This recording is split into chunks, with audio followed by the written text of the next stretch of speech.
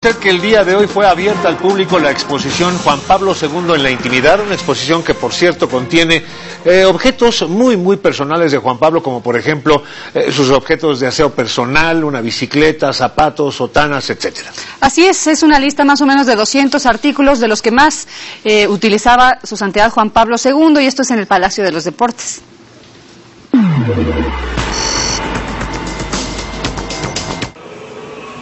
Son 200 los objetos que serán exhibidos. Entre ellos destacan sotanas, zapatos, fotografías, una bicicleta, una máquina de escribir y una maleta con cosas de aseo personal, entre otros. La mayoría provienen principalmente del Museo de la Arquidiócesis de Cracovia, en Polonia, tierra natal del sumo pontífice.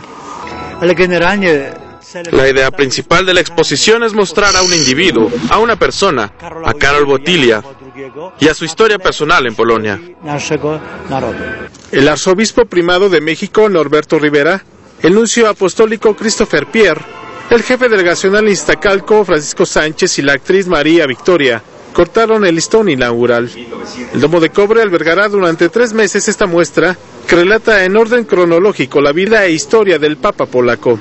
Recordando a Juan Pablo II, podremos también darle su valor especial a Benedicto XVI, sin compararlos, porque cada personaje es totalmente distinto. Así como todos estos objetos son distintos entre sí y cada, tiene, cada uno tiene un valor, tampoco podemos decir que Benedicto XVI se tenga que comparar con Juan Pablo II.